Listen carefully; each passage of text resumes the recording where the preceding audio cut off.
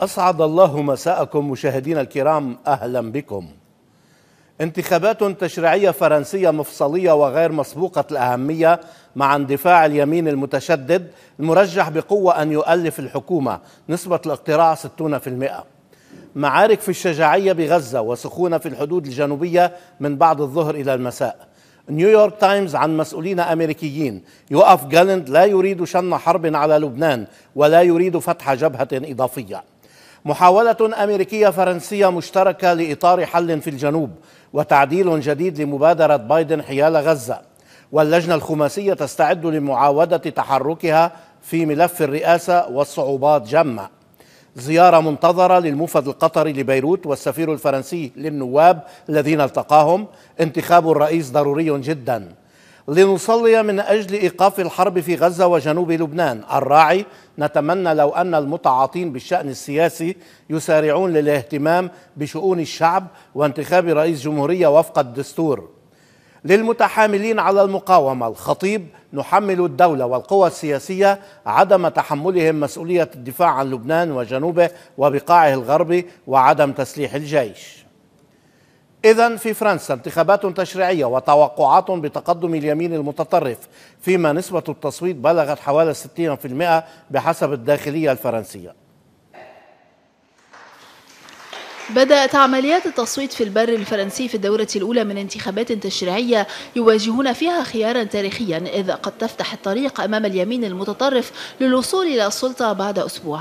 الجولة الأولى من الانتخابات التشريعية المبكرة تنظم قبل موعدها بثلاث سنوات بعدما حل الرئيس الفرنسي إيمانويل ماكرون البرلمان في التاسع من حزيران على إثر خسارة ائتلافه أمام اليمين المتطرف في انتخابات البرلمان الأوروبي بداية الشهر الحالي. وبحسب استطلاعات الرأي فإن أن التجمع الوطني اليمين المتطرف برئاسة جوردن بارديلا وبقيادة مارين لوبين سيكون في طليعة الأحزاب المتنافسة بينما تحتل كتلة اليسار التي اتحدت على إثر صعود المفاجئ لتيار اليمين المركز الثاني ويأتي ائتلاف ماكرون المنتمي للوسط ثالثا وفق استطلاعات. لكن النظام الانتخابي المكون من جولتين قد يجعل من الصعب معرفة الفائز إلا بعد ظهور نتائج الجولة الثانية التي ستجرى في السابع من تموز المقبل علما بأن النتائج التي ستظهر مساء اليوم ستكون لها دلالات مهمة على شكل البرلمان الفرنسي القادم الذي يتكون من 577 مقعدا. وقد شكل قرار الرئيس الفرنسي بحل البرلمان خطوة مفاجئة للأوساط السياسية إذا لم يكن ماكرون مضطرا لاتخاذ هذا القرار دستوريا رغم خسارته الأغلبية الأوروبية. لكن مقربين من الرئيس وصفوا هذا القرار باعتباره خطوة لا بد منها للتعامل مع الصعود السريع لأحزاب اليمين المتطرف. ووصف ماكرون قرار قرار حل البرلمان بالثقيل والخطير مستدركا بأن هذه الخطوة هي خطوة ثقة يخطوها الرئيس نحو الشعب الفرنسي الذي يعول على أصواته لمنع مارين لوبان من نيل أغلبية برلمانية ومن ثم حكومة فرنسية يمينية متطرفة للمرة الأولى في تاريخ الحزب.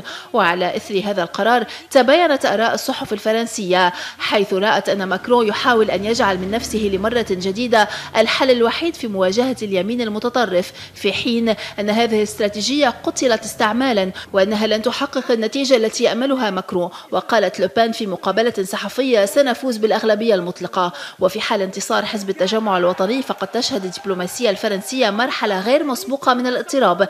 على اعتبار الاختلاف والتنافس الذي سيحصل بين مؤسستي الرئاسة والبرلمان حيث ذكر إيمانويل ماكرون أنه سيواصل رئاسته حتى نهاية فترة ولايته في عام 2027 في حين أشار بارديلا بوضوح إلى أنه سيتحدى ماكرون في القضايا العالمية. لبنان في الانتخابات الفرنسية ناخبا ومرشحا والقنصل الفرنسي في لبنان يؤكد للبنان أهمية كبيرة في الانتخابات التشريعية الفرنسية ويضم حوالي 19 ألف ناخب.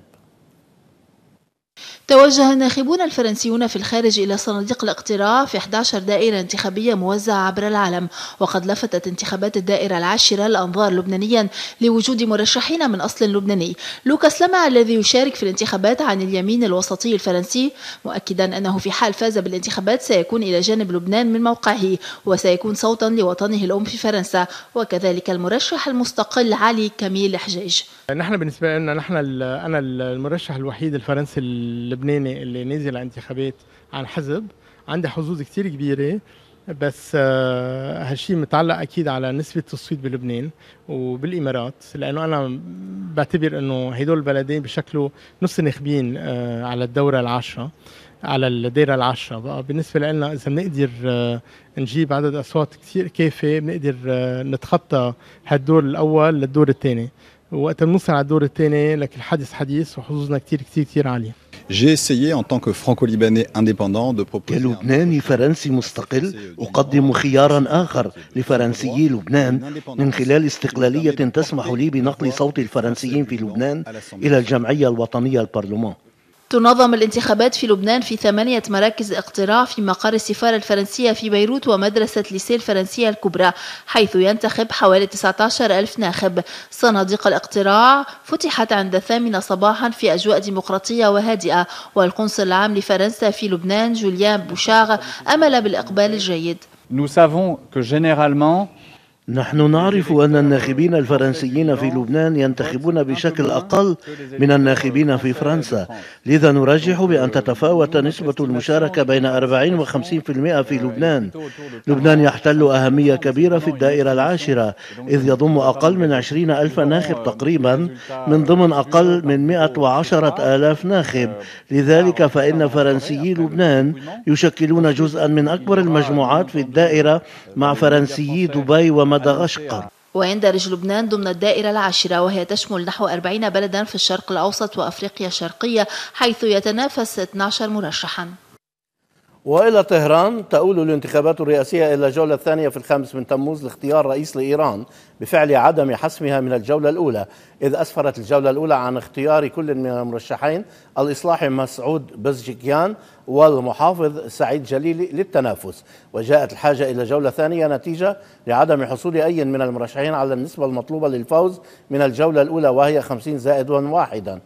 من الأصوات. وعلى الرغم استبعاد أن تؤدي الانتخابات إلى تحول كبير في سياسات الجمهورية الإسلامية الإيرانية فإن نتائجها قد تلقي بظلالها على اختيار خليفة الزعيم الأعلى المرشد آية الله علي خامنئي. أفادت وسائل إعلام إسرائيلية عن هبوط اضطراري لطائرة تابعة لشركة العالة الإسرائيلية في مدينة أنطاليا التركية والسلطات التركية رفضت إعادة تزويدها بالوقود بحسب ما قيل. فاصل فنواصل.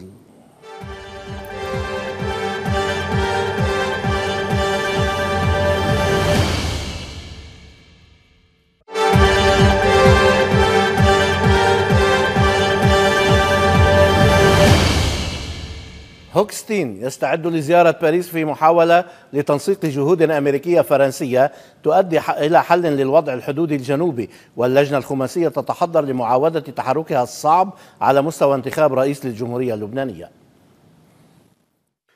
أوساط دبلوماسية مطلعة كشفت أن الموفد الأمريكي آموس هوكشتاين بعد فشل جولته الأخيرة بين بيروت وتل أبيب يولي اهتماما لزيارته باريس الأسبوع المقبل وأن هناك تركيزا من الفريقين على التنسيق فيما بينهما لبلورة إطار مشترك لحل سياسي للوضع المتفجر عند الحدود الجنوبية.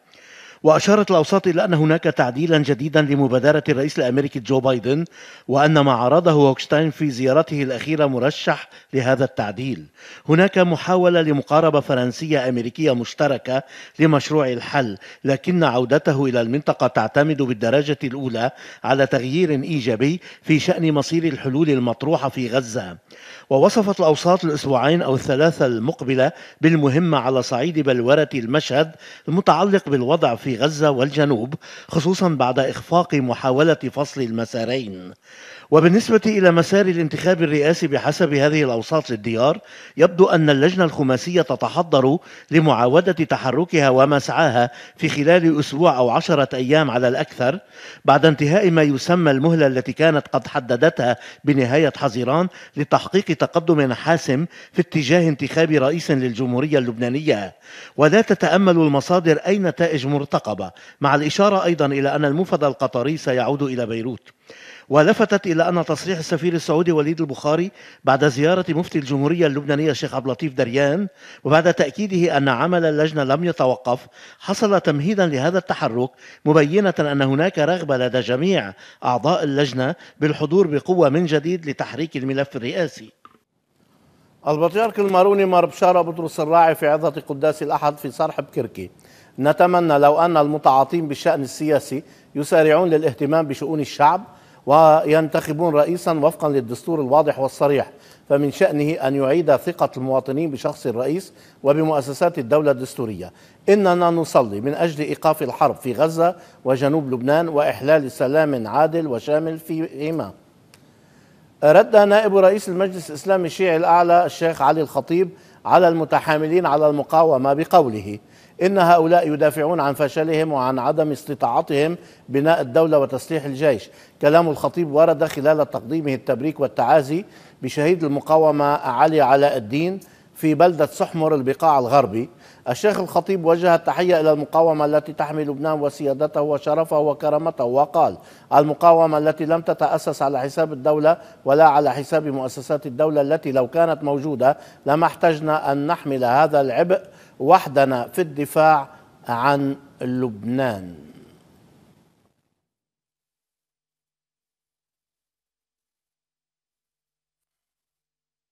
هؤلاء يهربون من فشلهم ومن تحمل المسؤولية إلى الهجوم على المقاومة وعلى أبنائنا وعلى أهلنا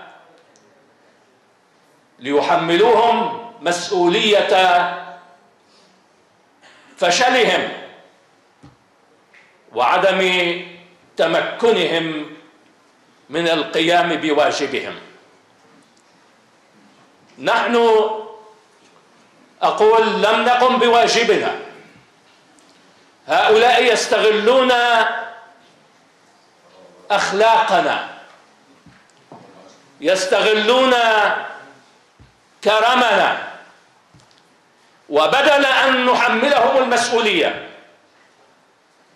ونقول لهم ما يقولونه لنا اليوم لذلك تجرأوا أكثر فأكثر فيحملوننا ويحملون المقاومة هذه المسؤولية. هم يدافعون عن فشلهم وعن عدم استطاعتهم أن يبنوا الدولة وأن يسلحوا الجيش اللبناني ليقوم بمهام الدفاع عن الوطن. أشار رئيس التيار الوطني الحر النائب جبران باسيل في كلمة ألقاها في البيت الأرثوذكسي بمنيارة في عكار إلى أننا أينما ذهبنا في العالم نعود إلى لبنان وكلما عدت إلى هنا أفرح وأجد العاطفة والأصالة اللبنانية والعافية. وأكد باسيل أن فكرة العائلة في العالم مستهدفة وكل الحركات غير الطبيعية هدفها ضرب العائلة. أتمنى أن تكون واحدة من مهمتنا أن نتحدث عن الإنسان والعائلة. ورأى باسيل أننا اليوم مهددون بسبب إسرائيل وأن جميعنا نطرح السؤال نفسه حول حصول الحرب مؤكدا أننا ضد أي سياسة تأتي بالحرب. وفي عبارات متوازنة ومنتقاة في شكل دقيق أضاف باسيل صحيح نعمل لمنع الحرب عن لبنان ولكن هذا لا يعني الاستسلام. وسواء وقعت الحرب أم لا لبنان سيخرج منها منتصرا ولو بكلفة مرتفعة. إن الحرب هي فشل للإنسان وإن نتيجة الحرب ستكون انتصارا للبنان. ولفت إلى أن الخوف هو من الحروب الأخرى لتغيير الهوية وغيرها وهذا الأمر ليس فيه عنصرية ولا عدائية. وفي الجولة زار باسيل الوزير السابق يعقوب الصراف قبل لقاء شعبي في بلدية عكار العتيقة. كما زار وادي خالد ومشت حمود والحيصة والبيري. واختتمت الجولة بلقاء شعبي في تل عباس شرقي. وفي الجولة أطلق باسيل سلسلة من المواقف.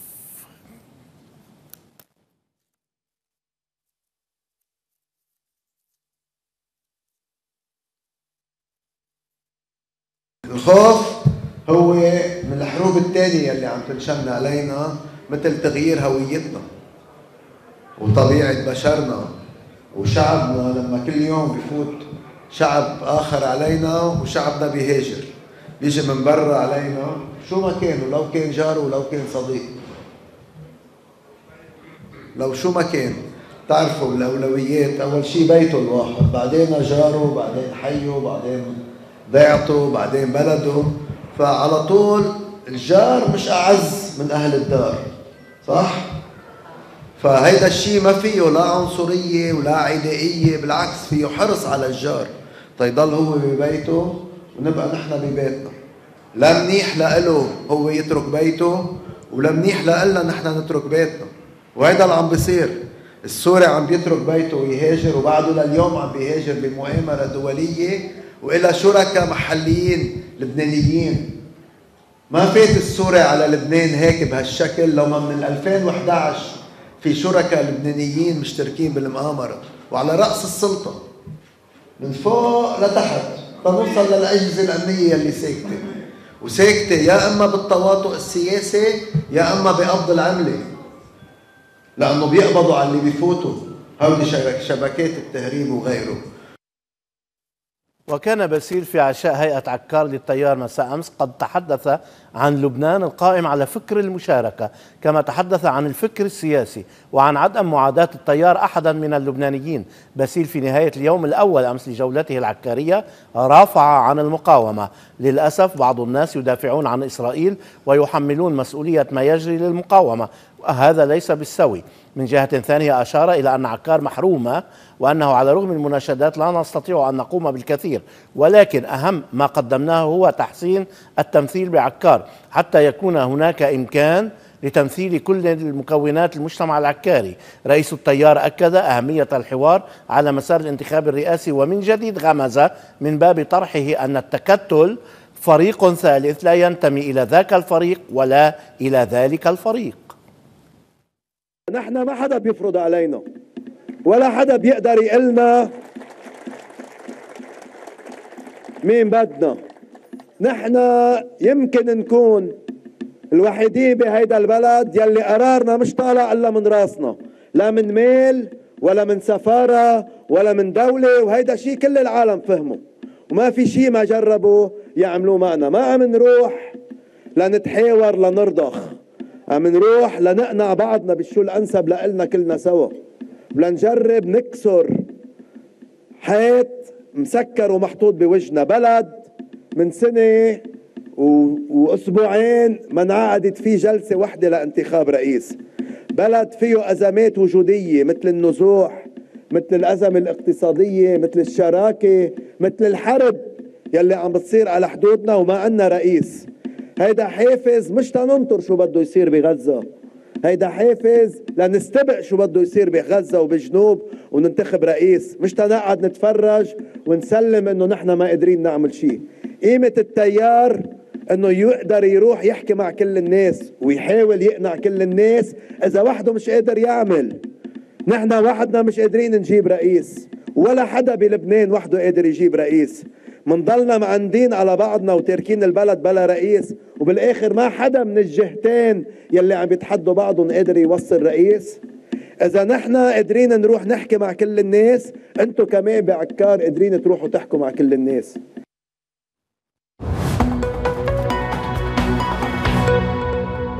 ميدانيا في الجبهة اللبنانية الحدودية ارتفاع بوتيرة العدوان بعد الظهر والمقاومة تضرب بقوة آخرها لمرابط إسرائيلية في خربة ماعر ولموقع رويسة الأرن مساء اليوم. الطيران الإسرائيلي المسير أغار على منزل في بلدة حولة فاستشهد ثلاثة جنوبيين كما قصف العدو بالمدفعية أطراف بلدة بيت ليف. المقاومة الإسلامية زفت الشهيد على طريق القدس نصرات حسين شخير جواد مواليد 1975 من بلدة الصواني الجنوبية كما زفت الشهيد جلال علي ظاهر حمزي مواليد 1976 من بلدة حولة. وردا على العدوان ضربت المقاومة الإسلامية مبنى يستخدمه جنود العدو في مستعمرة يرؤون بالأسلحة المناسبة وأصابته مباشرة. كذلك أعلن حزب الله تدمير جزء من مقر قيادة الفرقة 91 في ثكنة برانيت الإسرائيلية بصاروخ ثقيل طراز بركان ودمر جزءا من المشغل العسكري التابع لثكنة بيت هلل بصاروخ فلق. ونفذ هجوما جويا بسرب من المسيرات الانقضاضية على مقر قيادة كتائب المدرعات التابعة للواء 188 في ثكنة راوية الإسرائيلية وأصابوه مباشرة ما أدى إلى اندلاع النيران فيها وإصابة عدد من ضباطها وتموضع جنودها. في الغضون اجتماع إسرائيلي سياسي حربي اليوم في شأن لبنان ومسؤولون أمريكيون ينقلون أن جالنت لا يريد شن حرب على الجبهة مع لبنان. قبل ساعات من اجتماع إسرائيلي سياسي حربي في شأن لبنان وزير الخارجية الإسرائيلي إسرائيل كاتس رأى أن الرسالة التي بعثت بها إيران فيما يتعلق بشن حرب إبادة في حال تنفيذ إسرائيل عملا عسكريا واسع النطاق في لبنان ذلك يجعل إيران تستحق التدمير. وتوعد أيضا باستخدام كل القوة الإسرائيلية ضد حزب الله إذا لم يتوقف عن إطلاق النار على إسرائيل من لبنان ويبتعد عن الحدود. في المقابل صحيفة نيويورك تايمز نقلت عن مسؤولين أمريكيين قولهم إن موقف وزير العسكر الإسرائيلي يوآف جالنت تغير في شأن شن حرب على لبنان بعدما كان موافقا على ذلك بعد السابع من أكتوبر. وأشار المسؤولون الأمريكيون إلى أن جالنت كان يعتقد مثل بعض المسؤولين الآخرين في الحكومة الإسرائيلية بوجوب الرد بتدمير حزب الله وحركة حماس لكنه غير موقفه في الوقت الحالي ويرى أن فتح جبهة جديدة أي مع لبنان لن يكون قرارا حكيما.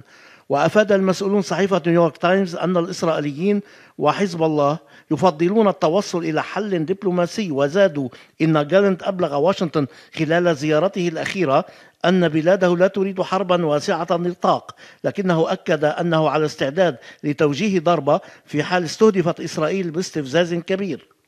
وإلى فلسطين المحتلة. قصف عنيف في الشجاعية ومعارك ومناشدة لإدخال الوقود لمستشفيات غزة. كثف الاحتلال الإسرائيلي القصف المدفعي والجوي على حي شجاعية شرق مدينة غزة وسط القطاع. مع استمرار القصف في رفح جنوب القطاع ما أسفر عن استشهاد وإصابة فلسطينيين. وذكرت وسائل إعلام فلسطينية أن طائرة إسرائيلية فتحت نيرانها تجاه السكان ومنازلهم في حي شجاعية فيما أحرقت القوات الإسرائيلية مسجد العودة في رفح. وأعلنت كتاب القسام أنها استهدفت ناقلة جند وجرافة عسكرية لجيش الاحتلال من نوع دي 9 بقذائف الياسين 105 جنوب حي تل الهوى بمدينة غزة وأكدت أنها استهدفت دبابتي ميركافا بقذائف الياسين 105 في حي شجاعية بمدينة غزة. وعلى الصعيد الإنساني نشدت وزارة الصحة في غزة لإدخال الوقود لمستشفيات القطاع محذرة من أن عدم توفر الوقود الكافي سيؤدي إلى توقف محطات الأكسجين الضرورية للمصابين خلال 48 ساعة.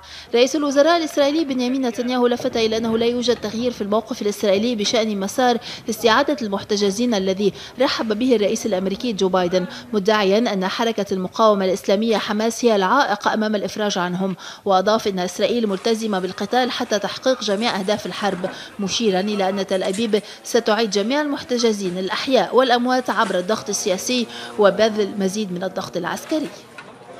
أعلنت هيئة عمليات التجارة البحرية البريطانية تلقي بلاغ عن حادث على بعد 213 ميلا ميناء المخ اليمني. وأفادت الهيئة أن السفينة بخير من دون أن تذكر هويتها. هذا البيان صدر بعد إعلان جماعة الحوثيين استهداف أربع سفن في كل من البحر الأحمر والمتوسط. إحداها أمريكية والثلاث الأخريات انتهكت حظر الوصول في اتجاه موانئ إسرائيل. وكان الجيش الأمريكي قد أعلن يوم الجمعة تدميره سبع مسيرات ومركبه تابعة للحوثيين في اليمن. كتب وزير الاقتصاد أمين سلام على منصة إكس انهيار سقف المنزل في المدينة الرياضية في بيروت هو بمثابة إنذار وتذكير لبلدية بيروت بأن هناك أكثر من 10460 مبنى في بيروت يحتاج إلى ترميم. وفق المسح الذي أجرته شبكة سلامة المباني عام 2013 ضمن برنامج GIS بالتعاون مع وزارة الداخلية. ندعو كل البلديات لإجراء مسح ميداني شامل لتقييم حال المباني في كل المناطق فهو الطريق الوحيد لتجنب كوارث مستقبلية ويجب اتخاذ إجراءات عاجلة لضمان سلامة المباني وسكانها فالوقت ليس في مصلحتنا.